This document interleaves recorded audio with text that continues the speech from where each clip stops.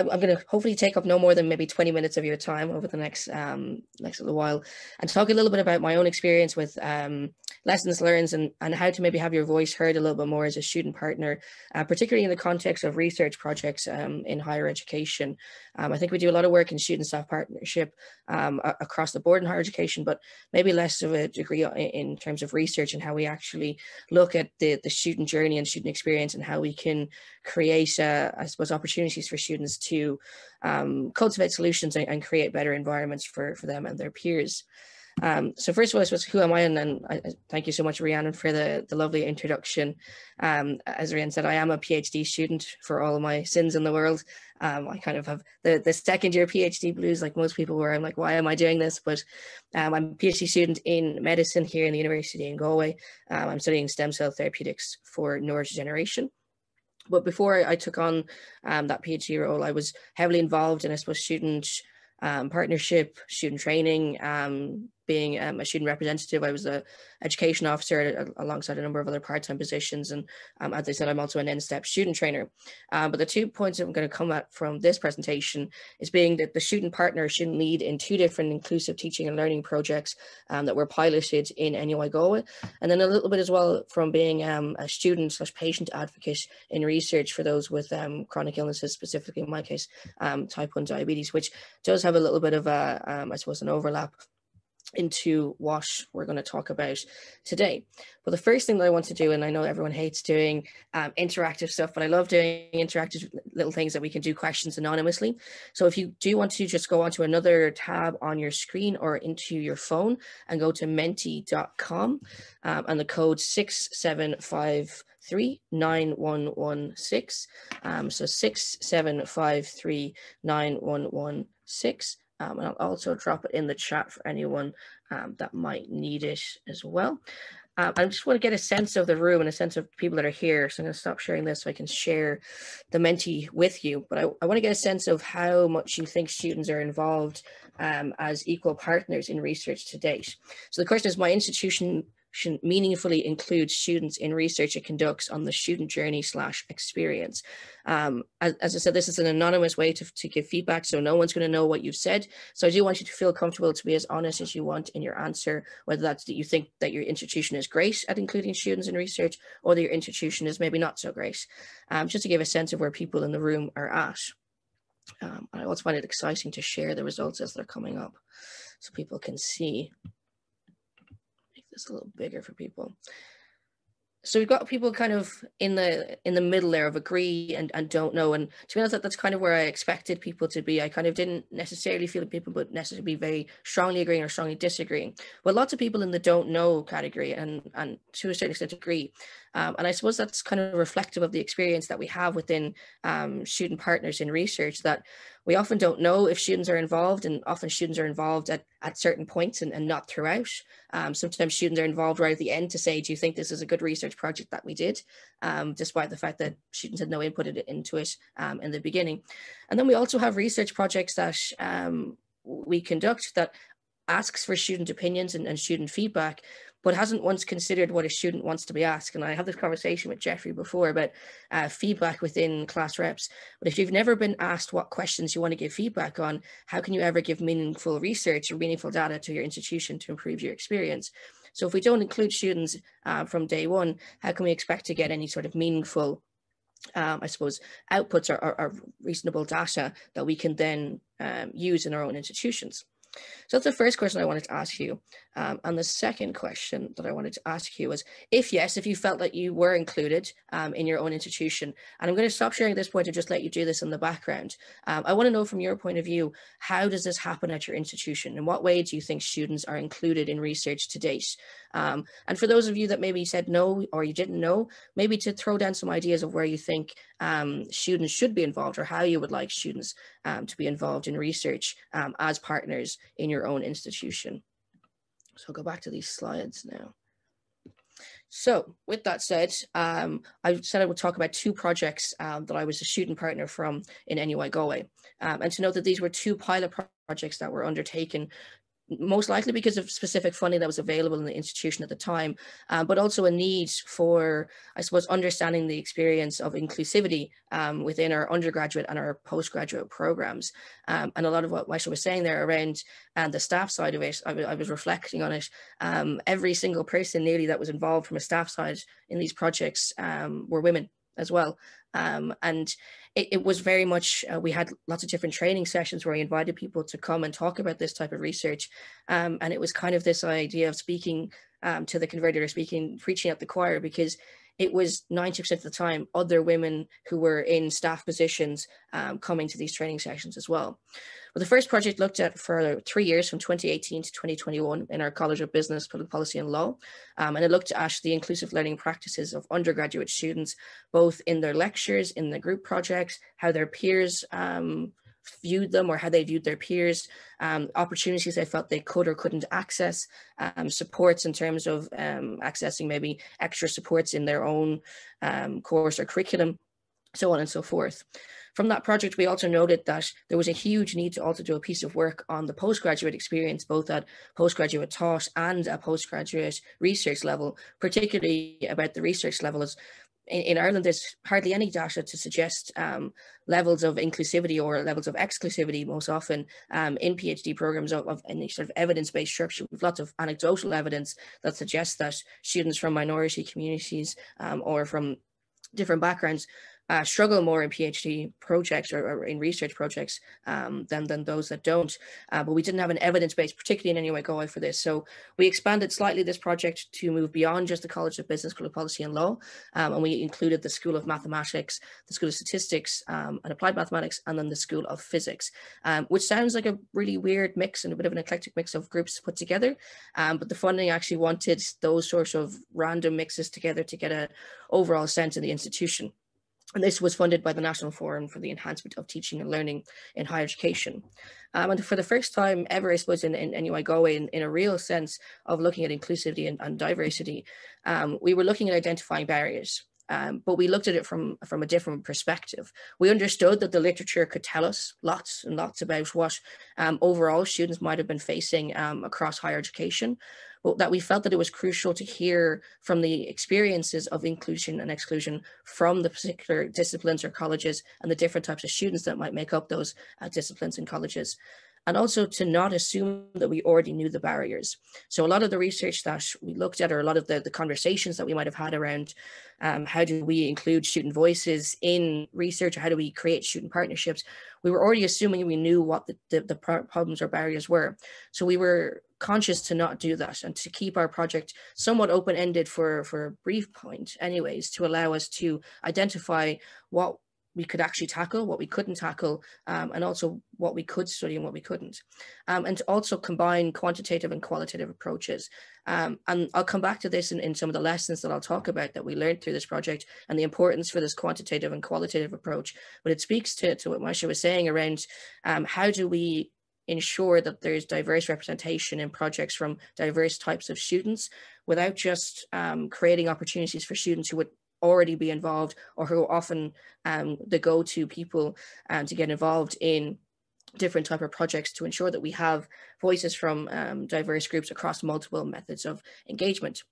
And so these two projects sought to look at these um, I suppose, somewhat intersectional grounds, but also uh, quite distinct grounds um, in, their own right. So students with disabilities, international and intercultural students, students of different genders, LGBT plus students, um, transgender students in a particular sense, mature students, um, students with caring responsibilities of any description, um, and students from disadvantaged socioeconomic backgrounds. And also one of the things that we didn't include in this, but um, came as a natural point within the research is that one of the um, campuses that we encompassed in the College of Business was a satellite campus. So we had a significant amount of students who weren't attached to the, I suppose, the the, the general campus, also being um, asked for their views about how we could make a satellite campus, um, or in some ways a smaller campus, um, even uh, improve their student experience and what barriers were they facing into education. So perfect. I think I've put that slide in again. So from those those projects, to go back to these target groups, we approached it in, in a number of different ways. Um, and this is what's kind of from my perspective and from my, I suppose, last three and a bit years of doing these few projects, I've come up with eight lessons that I think um, could be universally applied to improve the types of student engagement we have in student partnership with research, um, but also make it a more meaningful experience for all types of students that decide to want to get involved in a research project within their own institution, looking at improving um, experiences, improving um, access to courses, um, down to improving maybe even just how much we can pay for a cup of coffee in the student um, cafe. You know, it didn't have to be something that, obviously this is a high level project, but hopefully these lessons will be applicable to something as, as benign as a, how much do we pay for a cup of tea to how do we create meaningful change for students that face barriers to education. And so the first lesson that I'll talk about is project slash research design. And what I mean by this is that the student voice should be included in all aspects of the research design, from the initial idea to the execution of the project, and sometimes the execution of the results of it afterwards. Um, and I've said here, it's hard to create impact when a project has been designed without your input. Um, and I mean this with the best of intentions that sometimes people create really important avenues to research and they have the best intentions behind it, but they've not consulted with anyone that's affected by the research they're doing. Um, and so they haven't actually designed a set of questions that people want to answer. They haven't designed a set of questions that actually tackle the problems that students are facing. Um, and they haven't included um, or built in any of that trust with the student population that they're then proposing to research to say, we want to hear from you, we want you involved. Um, you'll hear the tagline a lot from different universities around the student survey of, you said we did, or you said we listened. Um, and to a certain extent that, that that's great and it's great that that those are taglines and that's the the culture that institutions are making but it's also important to note that you know we have to think of it from the very very beginning I want to do a project on the barriers that students face to education. Therefore, my first step is I need to talk to students who may experience barriers to education and how do we co-design a research project together? And it's not about coming at it afterwards and saying, I've designed this project, do you know what would be great if I recruited a student partner now? And you will recruit a student partner. I've no doubt that you wouldn't, but will you recruit a student partner that faces the types of barriers that you're trying to study? Or will you recruit a student partner that um, is someone that you would view as non-traditional to be involved in research. And I'll talk about that point a little bit on in a different lesson. But some of the tips that I, I would share with you um, around how can we create this from, from day one is around building in student reviewers to research calls. NStEP does it, um, lots of different student organizations um, or, or organizations that provide um, insight into student partnership and staff partnership do this, where there's a certain element of anything that's being applied for has to be reviewed by a student. And that student reviewer is given equal weighting to say, this is good, this needs to be changed, or this isn't, I think, tackling what students need. Creating project funding calls specifically that call for student staff partnership from the beginning. So lots of, of I suppose you, you you create a research project and you get feedback to say it would be great to have more student input in this. And people go back to redesign and say okay we'll include a student partner but they haven't redesigned anything else about the project. Um, and sometimes I think that that's just ticking the box. It's not giving an opportunity for students to really have their input heard or, or have their input listened to. So creating project calls that are specifically stating from day one who's your student lead or leaders? It doesn't have to just be one. And I think that's another issue I have is it just being one person? But your student leader leaders and who are your staff leader leaders. Um, and then consider having student partners um, as a co-lead as a requirement. So sometimes we have student partners on a project of a wider team of 5, 10, 15 other people, but they're not co-leads. Um, and we're creating this uh, power dynamic again. And I saw it in my time as education officer, where you'd be the only student representative on a committee of 30. Um, and you're supposed to represent, in my case, 16, 17,000 students um, to 29 other people who may not necessarily have the same views as you and you're already going into those rooms as, with a disadvantage. So creating that um, opportunity for co-leads um, and to i suppose let relinquish and let go of some of that control as well of it has to be a staff that leads this because if its staff is leading it it has more value. Um, and i talk about that a bit more in a different lesson that we talk about about student and staff value. The second lesson i want to talk about is research outputs um, and I take you back to the point I made about it's important not to assume that we already knew what the barriers were. Student participation, it often asks one to two students, um, what are the barriers that you're facing? And whilst that's great, absolutely, you might find out what the barriers that that particular student is facing or um, a, a, community that that student um, identifies with, great. but we have so many diverse ways of, of coming to education. We have so many diverse ways of going through education. We have diverse opinions on what is good, what is bad, what we should absolutely never do again, and what we should absolutely do 100% more. Um, and so it's important that we don't assume that one student is going to solve all of our questions or all of our answers for us, um, and that we try not to assume that we as the maybe the, the staff or, or the people that are pushing the project know everything before we've even started it. Um, and it's about building in opportunities to create wild, wide consultations around the subject of research funding um, as a whole. We often come I, I, suppose it's the nature of research funding. You get an email to say this call's been opened, you've got four weeks to get something together, um, or you've missed the deadline. Whereas I think we're we're kind of putting the, the wrong step, wrong foot forward in the, the first instance. Um, if we want to create meaningful research opportunities for students and staff around student experiences, we need to first look at how can we do a wide consultation that isn't just the same type of survey fatigue of fill in this um, questionnaire that you tell me from one to 10 how good, how well you rate this particular aspect of your education, but robust, meaningful consultation where students can come at it from a point um, that's accessible to them and in a way that makes sense to them. Um, one of the research projects that's happening in the university here at the minute is called the NUI Galway 100, where we're looking at in, in this particular iteration how um, students are communicated with via the university. And one of the things that students are asked to do is to detail how many emails they get from the university in a particular week and break that into categories of I got it from fees, from registration, from clubs, from societies, whatever it might be. But the way that you can present that back to someone in the research project is up to you. So you can write it in an email, you can put it to Excel, you can do a video, you can meet someone for a coffee and say, this is everything that's gone through. You can write it down and submit it to them. Um, and so they're creating opportunities for students to give that feedback in a way that's accessible um, and understanding the issue from their point of view, whilst not cutting off a certain proportion of students because they've only said we can do this one way. So it's important to, to be mindful of how we create that wide consultation, um, but that we ultimately understand that it's needed if we want meaningful research um, in the next number of years. The third lesson, um, and it speaks a bit about what Maisha said before around student opportunities.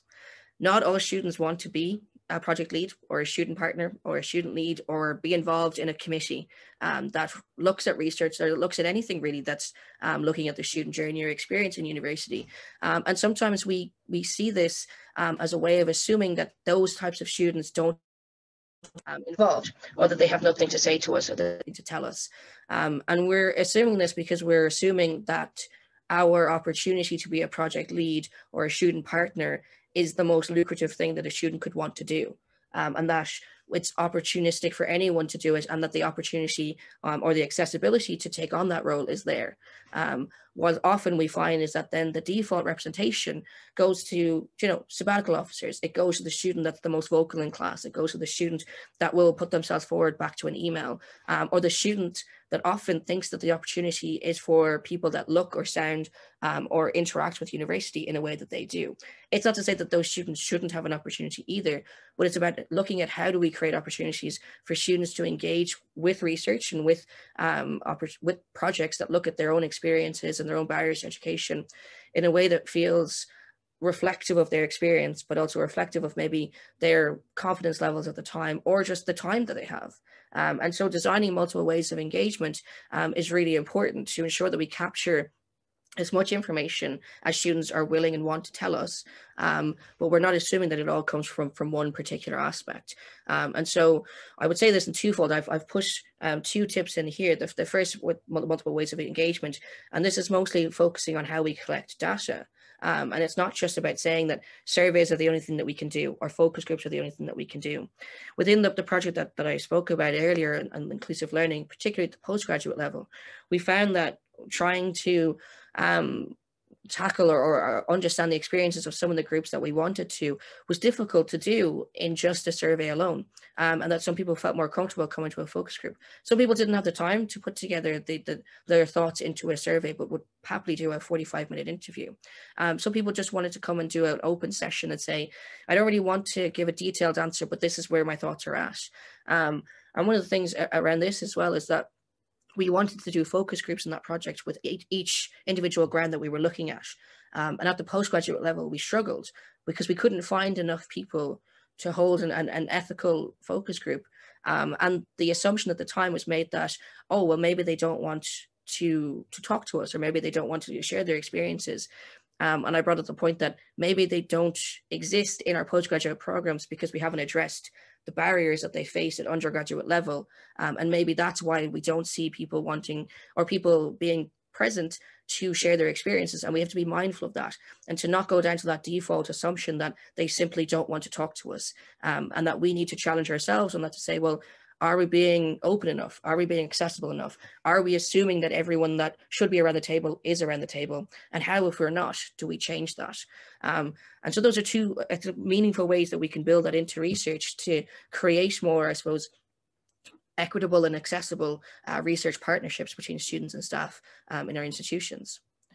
The fourth lesson then is funding and payments. And sometimes this is a bit of a controversial um, point to raise with, with certain um, aspects of, of an institution, but it's important to recognize the time, the value, the expertise, maybe that your student partners and speakers, um, and sometimes you, you have a student partner and then you'll recruit other student speakers to come in and you treat them, them differently, but that your student partners and speakers have the same time and value and expertise um, as anyone else on the research project um, and to adequately reimburse them for this. Um, and the one thing that always gets to me in conferences or roundtables is that you'll have a big keynote um, staff member or an or external from a company come in who will get paid to, to do um, a, a keynote address. And then you'll have a student roundtable where you expect a student leader to come in and not get paid, or in certain cases, research budgets um, dictates that you can't pay them, you have to give them a One4all voucher. Um, and I don't know about, about you, but like if I push a, a number of hours of my life into preparing a talk, into coming in, into giving my expertise, I don't necessarily want to find out that the person who, just because they have a different title than me, gets paid 200 euro and I get a 50 euro One4all voucher because we are seen to be at two different levels in our um, careers within academia. Um, and so it's an understanding that that's something that we have to challenge as students and staff in research together that we acknowledge that if you're giving your value and your time and your expertise that we adequately reimburse that for you um, and again, if the staff research team are paid to attend meetings, show the students. The student time isn't worth less just because you don't have um, the same level of a um, of a job title as a staff member does. Um, and I think it, it often comes back to this idea of well, who has a degree and who doesn't. Um, and that bit kind of gets me because it's it doesn't it's not diminishing the fact that someone has worked very very hard to get to where they are and the degrees that they've taken but we want students to be involved in this because they're experts in their own student learning experience, which I've just stolen from the NStEP training, but that just came to me there. Um, but we want them to be involved because they they are the people that are on the, the the the front line of this in terms of what's going well in their courses, what isn't, what could be done better, what isn't working. Um, and so that input and that value is just as important um, as the staff saying, well, this isn't working, or we can't put that in place for this reason, or we need to work together to do this. So it's important to, to not note that student time isn't worth less um, in these sort of projects and in, in this sort of um, line of work. So the fifth lesson then I talk about is survey slash research fatigue. And I think any student that's on the call will probably be kind of getting ready for the fact that we're coming up to the end of a semester and every single module that you take down to every single class, to every single course will have an end of year survey that will come out to you. Um, and again, it's it's overwhelming. Often it's the tick the box exercise, um, and it doesn't necessarily create a, a, huge sense of trust in the types of research or surveys that we're doing um, in terms of trying to understand the student experience. So I would say here it's also important to look at the timing of your planned data collection. We shifted around our data collection in our two projects quite significantly because it fell during exams or it fell during holidays or it fell during particularly high assessment times or it clashed with other surveys and we didn't want to either take away from those or compete to those. Um, and so that back to that point I made in lesson two around wide consultation around what research needs are are are needed in your institution is important. But also, I think people are scared sometimes to combine multiple projects together that are looking at the same thing. Um, we don't have to do five projects that are all looking at loosely the same idea um, and create, I suppose, opportunities for students in five different ways, but we're also asking students to contribute their time and thoughts in five different ways when we could just create robust projects that look at multiple aspects. Um, now, some projects do need their own distinct uh, research team with their own distinct resources. And that's absolutely fair. But when possible, it's okay to combine those. And then you'll see that you'll bring a much more multidisciplinary team to the table. It'll be a much more robust team that can look at the research from multiple perspectives and from multiple um, angles. And just to go back to look at the academic calendar of your institution. Um, they're not all the same, particularly if you're looking at satellite campuses or if you're looking at multiple campuses. There might be slightly different times of the year which are busy more busy or less busy than others because of the nature of the campuses um, themselves. Like the satellite campus I talked about was the Shannon College of Hotel Management, which works on often a completely distinct schedule to that of, of NUI Galway itself in terms of students that aren't looking at hotel management, students that have much more time in their schedule, maybe during the day to do um, a focus group, whereas maybe the Shannon College students needed the evening. Um, and so it's important to look at that in terms of your academic calendar and how are you going to engage the types of students that you want to engage.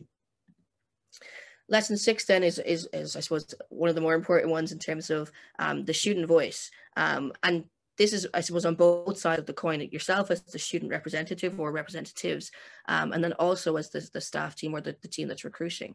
Um, and that there's a fine balance between speaking to your own student experience and your understanding um, of the wider population that you may um, be a part of, to also being a tick box exercise for certain projects. Um, and I said this before in a, in a previous lesson, it's not about you speaking for every possible student that's on your campus, but you providing your own experience whilst also saying we need students from X, Y, and Z uh, group or course or um, demographic to also um, to be involved. And this speaks back to that wide consultation.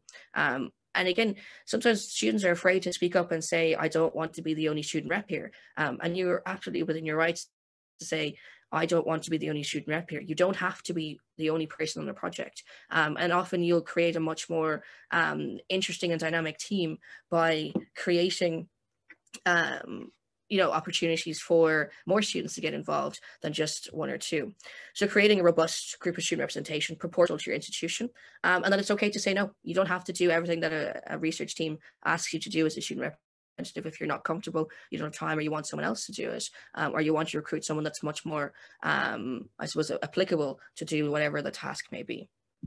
And I'm just conscious of from Jeffrey, I will be two more minutes. I will get through the last two uh, really quickly.